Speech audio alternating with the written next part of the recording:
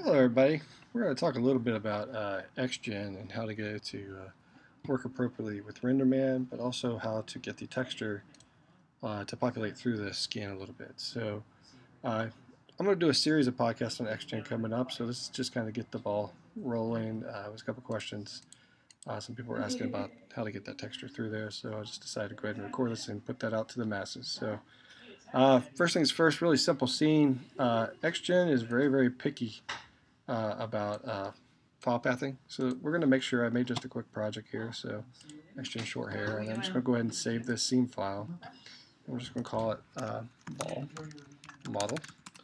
Uh, real quick, I just put like the Pixar Disney shader on there, and uh, you can see all I did underneath the uh, basic material is I just kind of threw in a tiger texture for fun, so right underneath base color. And uh, that's pretty much all I've done so far. So the next step would be to simply just go to basically modeling, and we can come up to basically generate, and then go to XGen editor.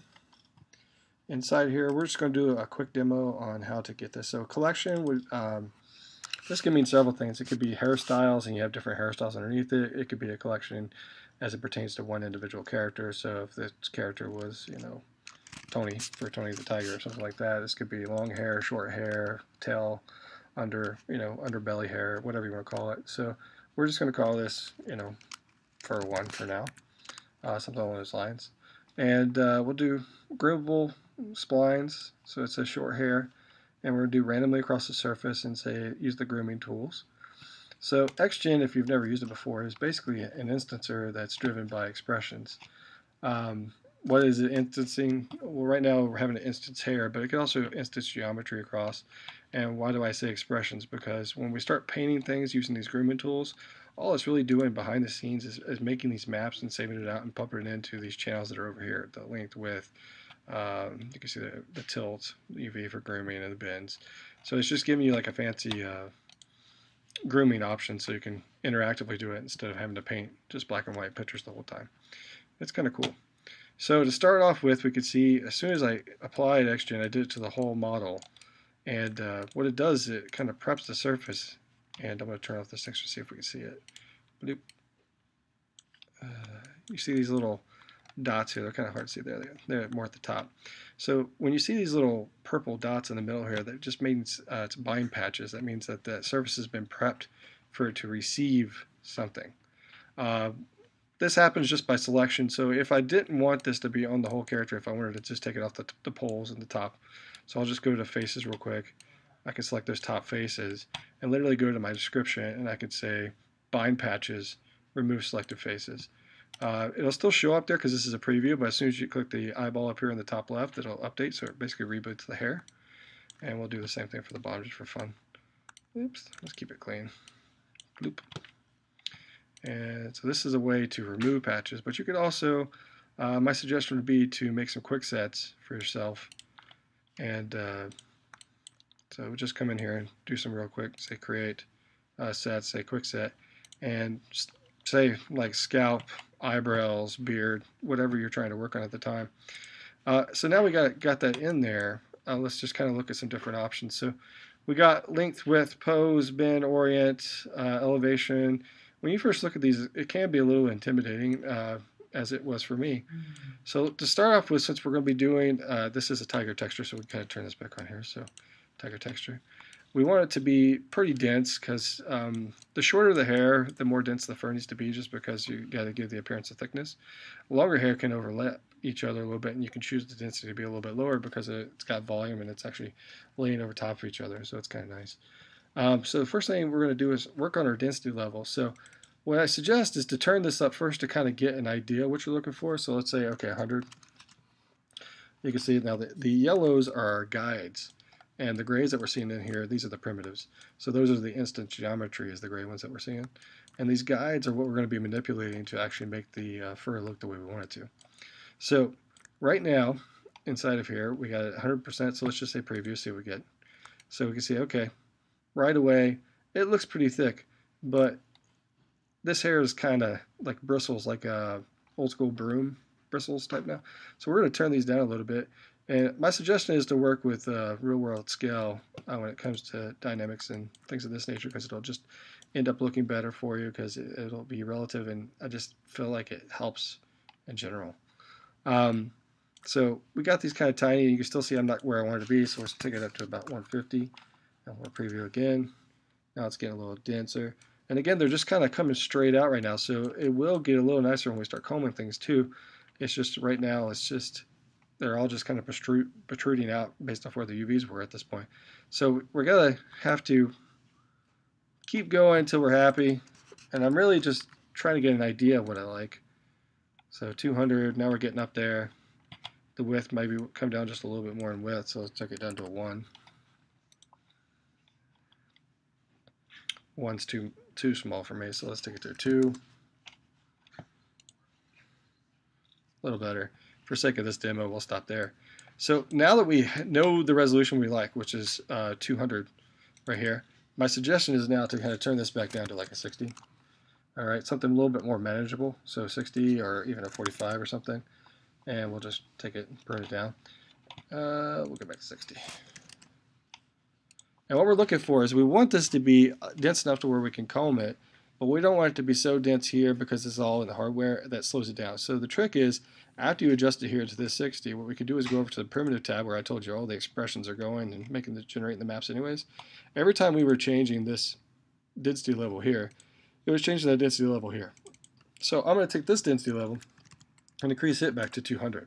So in our preview, in our hardware view, we're going to actually get something that looks like six, uh, 60. Uh, then when it goes to render, uh, it'll, it'll jack it up to 200.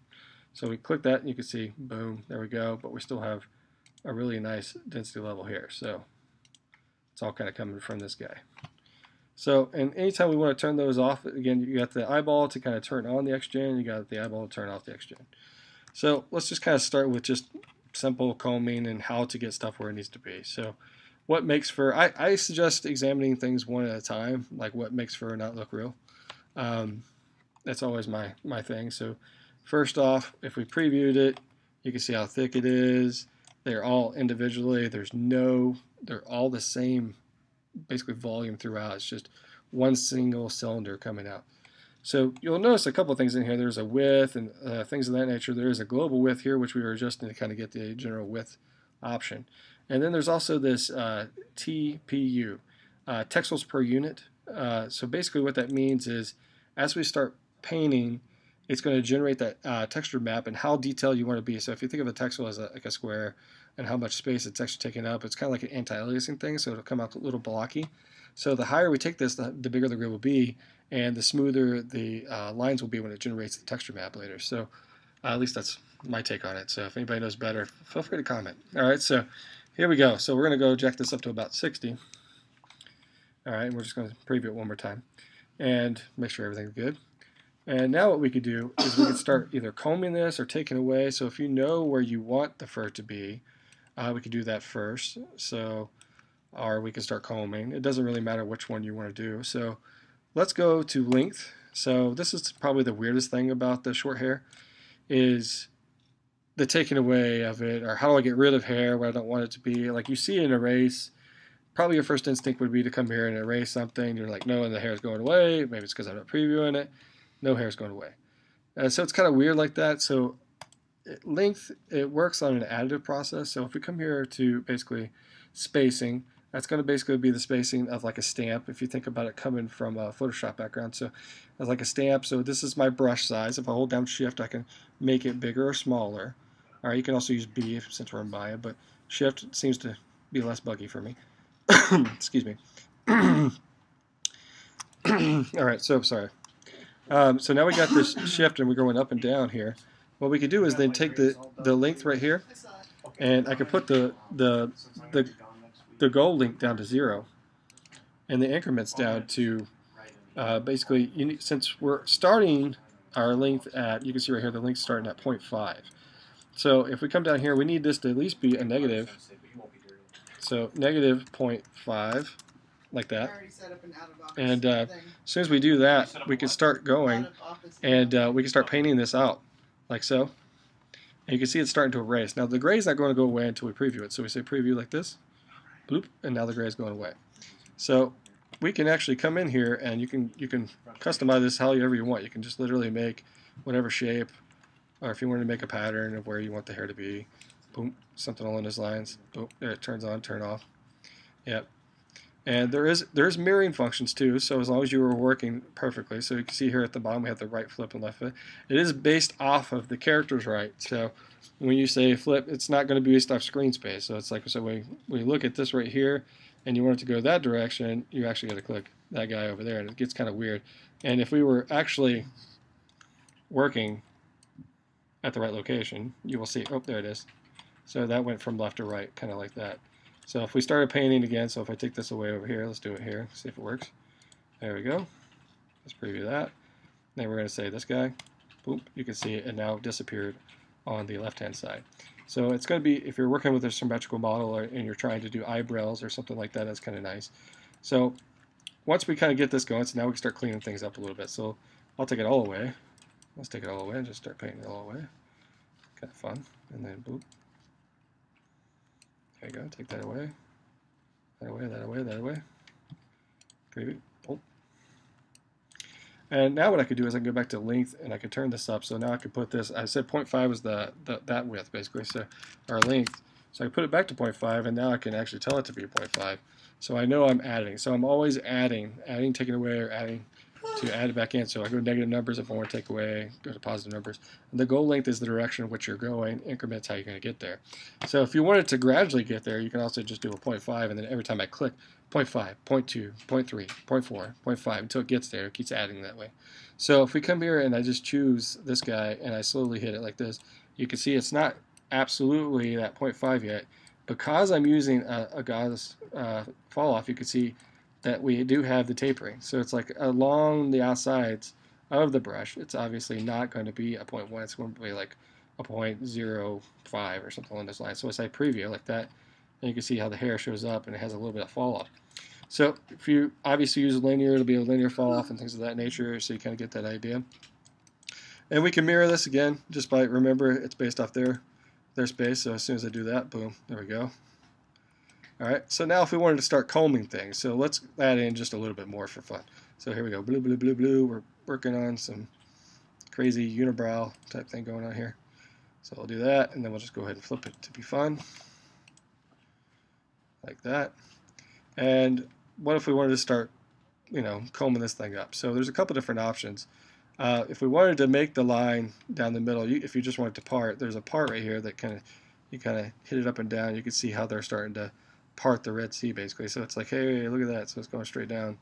And then we can say preview and you can see how things are starting to update. Now, it kind of gets confusing sometimes to see the gray and the yellow at the same times. There's a visibility option here for the yellow, which is the yellow guide curves. So if we turn this off and then you start painting again, it's not going to do anything because it needs to see those yellow curves for this to work. So if it's just there as a visual. So if we keep previewing now, you can see, hey, nothing really happened. But don't forget, you can always turn off the primitives at the top here and turn them back on. That's the cool part. So when we're doing this, now we kind of got an idea which direction we're going to go. We can use pose now. And back in part, I'm sorry, most of the magnitude, how fast we're getting there, we still have the same fall off options and the spacing. Think of it like a rubber stamp type thing.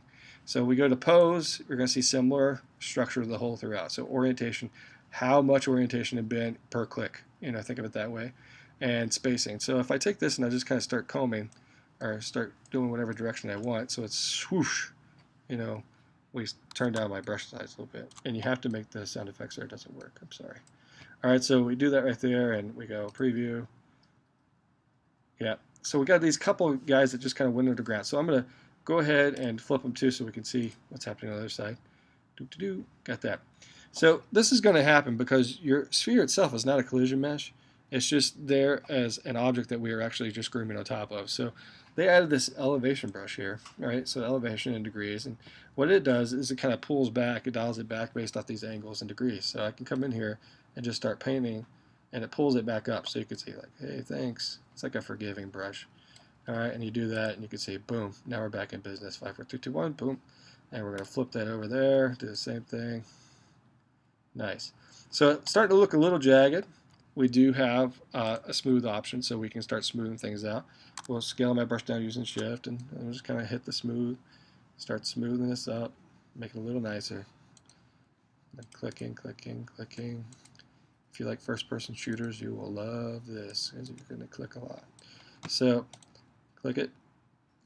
Boom, there we go. And we might want to go back with the length and just kind of force it a little bit too. So take our increments down to a negative 1, 0, and just kind of force it a little. And then we'll just say, okay.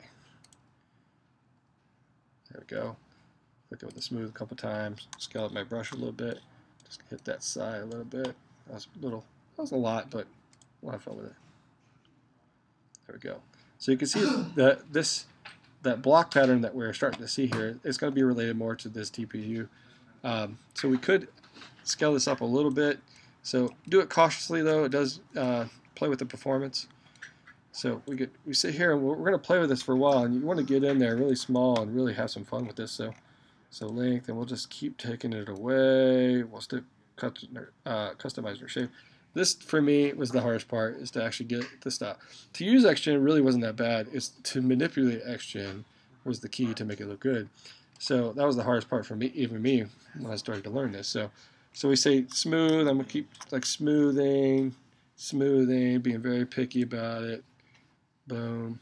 And you'll even then come in with the width brush. So if you wanted the width to be a little bit thicker here in the center and then the width to be tapered off at the end, um, you could do that too by coming in here and doing the same thing. It's based off the length. It's just now it's going to look at the individual width of the hair. Before I do that, I like to play with a couple different things. I like to go over to the primitive tab. It's one option that's not on there. There's this taper option, so I'm just going to like take the taper and turn it up so I can see it like what it's doing. It, it's like keeping it thick at the uh, the root, and then at the tip, it's gonna it's feathered out a little bit, which makes it look a little nicer, I think. So now we basically come back to our grooming. You can adjust the width, you can adjust the orientation. Maybe we want to add a little noise to make it not look so perfect. So we can come in and just kind of mess it a little bit, mess it up a little, like a straggle type thing. All right, and then we can just set the eyeball, and we can see what we're getting. Again, it, it might mess up your elevation just a little bit. We'll just slightly hit it just to make sure it's nothing weird. And then uh, preview it one more time. And we'll flip it. And, you know, non-perfection makes it look real, you know, so it's like you want some imperfections in here to make it not look so computer generated. So we got that in there. And you got your smooth, you got your twist, your part, the repel, you're, kind of, you're starting to get the idea here. Attract will be like a clumping brush, so you can kind of come in and get a couple of things to just pinch more or less, and it's based off brush size and the fall off on the brush itself spacing and the magnitude. So uh, eraser, let's let's just show you what that does. So we we hit basically the attract brush, and then we come back around it, and you're starting to erase. You're like, what is it doing? It's just going to kind of like play with the length and orientations. It kind of kind of gets everything to come back. So I really don't use it as much because I'll just keep going back over top of it with like the smooth, or I'll just undo. Um, the global reset is right here, this little bad boy right here. So we try to avoid that at all, uh, all costs, basically. So we kind of come in, we'll just do our pose and just kind of fix the hair the way we want it to be. Turn on the elevation a little bit. Cool. Repel, turn up a little bit. There we go. So, and then we'll flip it to the other side.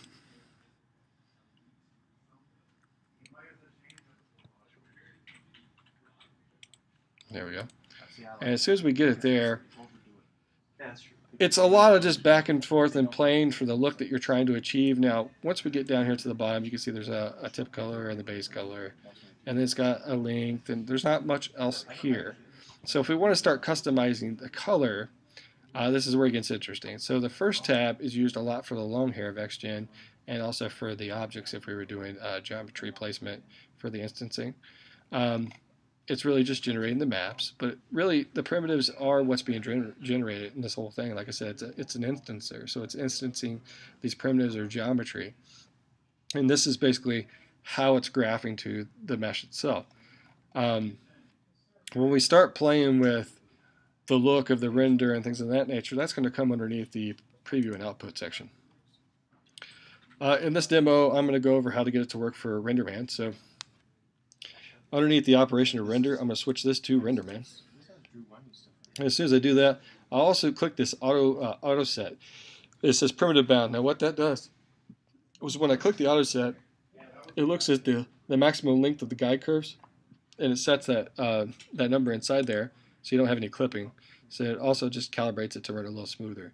So what we're going to do is we're going to scroll down to the bottom now and uh, we can see we have uh, you know a shading group that's just chilling here in the world.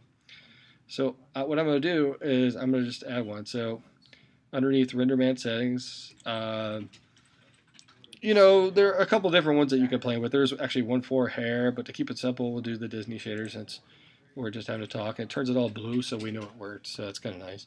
If you click the red button, that actually opens it up. So what we're going to do is we're going to graph uh, a color, which is going to be obviously the tiger texture, into our hair. So to do that, this is the fun part. So we're going to come up to the top here and we're going to click on color. And we're just going to name this, it works based off object names. So we're just going to say like Tony's base color, you know, something along those lines. So we're just going to say something along those lines. Say plus sign, all right? Now, before I make this a texture map, uh, Maya is not very good about understanding what uh, any of the RenderMan shaders are. So just for fun, just because we're going to be those people, uh, I'm going to come over here real quick. I'm going to label this and call it Tony's, you know, shader, whatever.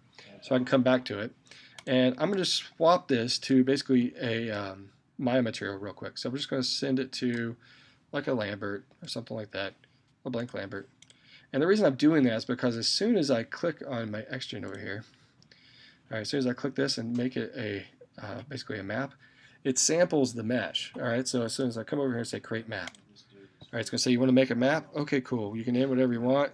Say max map resolution. This is going to, you know, the resolution of the map itself. So we can texels per unit. We got it at five, so we can jack this way up so it's a little bit smoother.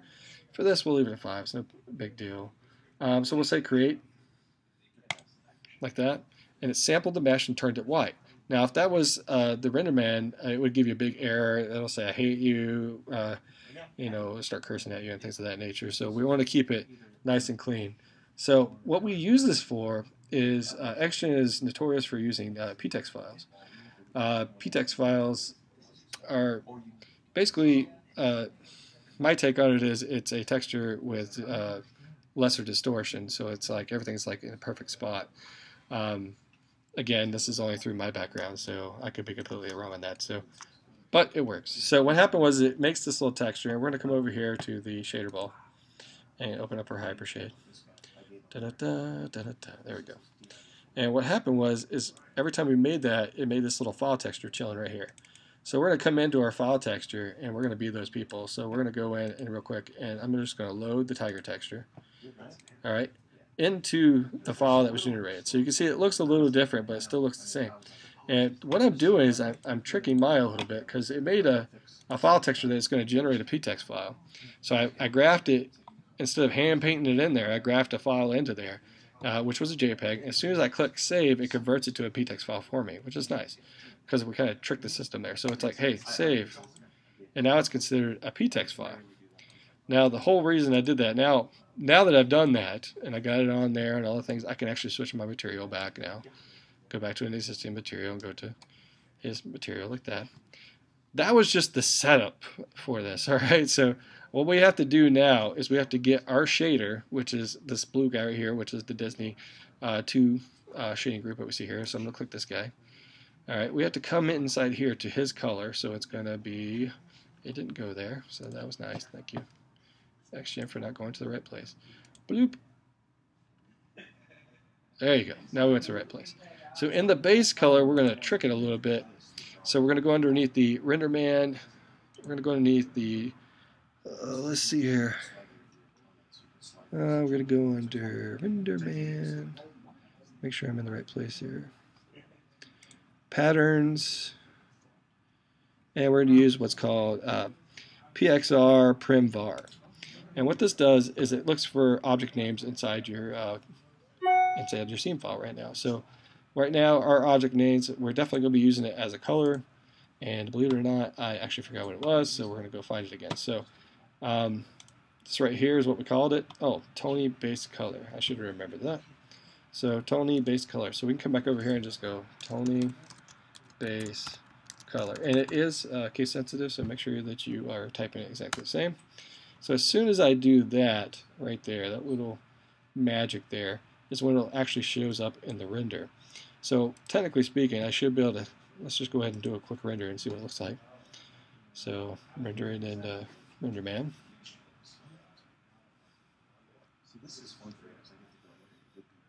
There we go. So now we can see the texture is actually populating through the actual individual strands of hair. So you can see it's propagating. It actually makes it look like a tiger.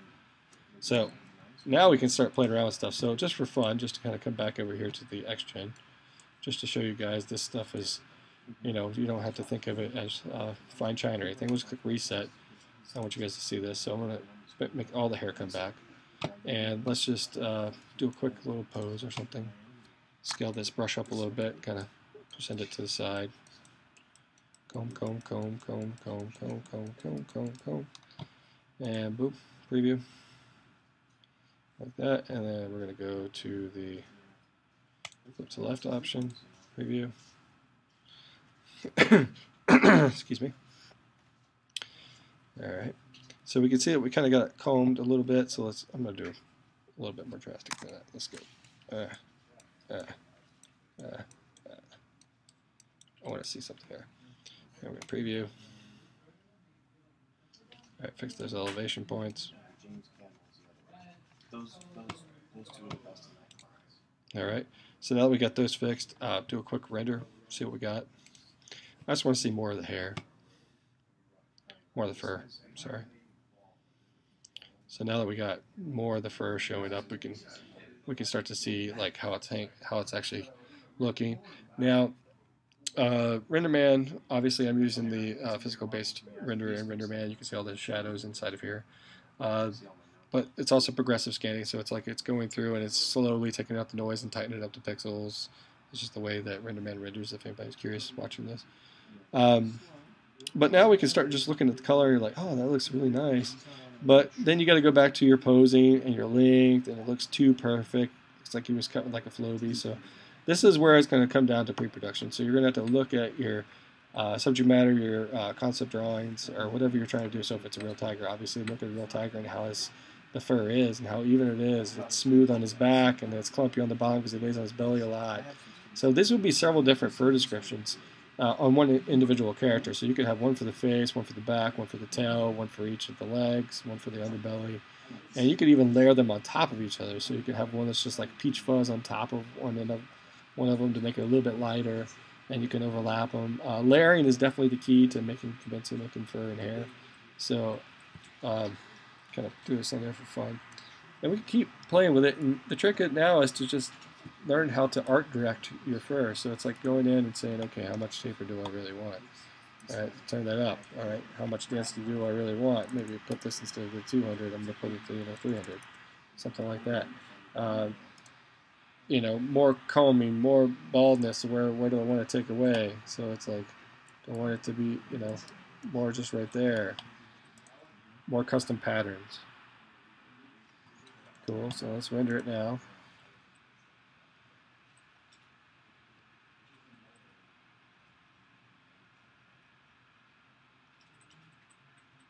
Cool. And just keep in mind they are primitives. You'll need to manipulate your uh, shaders and stuff to make them look a little softer and how they receive light uh, in the overall scheme of things. So, but again, this demo was more about just having to play with short hair just a little bit, how to get the color on there, and I think we definitely achieved that. So we had a little fun with this, and I really don't have anything spectacular in the scene right now. If anybody, I'm even using default lighting. There's nothing here except for obviously my collection in my fur, because this is what a collection looks like. It's just a big souped up group, and a sphere. Uh, so I didn't do any crazy settings to get it to look that good either yet. So it actually came out pretty decent. So again, it's just taking your time and trying to think about the effect that you're trying to achieve and going real slow and having some fun with it. I mean, the whole point of us doing all this is to have fun and uh, make some uh, kick-ass looking characters, I think. So it's always just a step to kind of enhance what's there uh, for me, that's what fur is. It's an enhancement of geometry that's underneath it to make it look awesome. So keep in mind, always look at your reference, add a lot of noise to the length. Um, some other things we could do uh, for if you wanted to go kick it up a notch. If, if you're like, hey, I want to take this to the next level, what else can I do? These things are just maps. Uh, what you can do is add some expressions and add some noise in there for the length and stuff to it, where it automatically adjusts the length. Uh, just added random values in there to kind of uh, change the height and the, the width and the taper and stuff like that. You could do that here without having to hand paint it. Um, basically using these expression nodes and stuff. They're just expressions. So you can manipulate it with any math function inside of here. But we're going to go over that in a later podcast anyway, so I think this is a good place to stop. If you have any questions,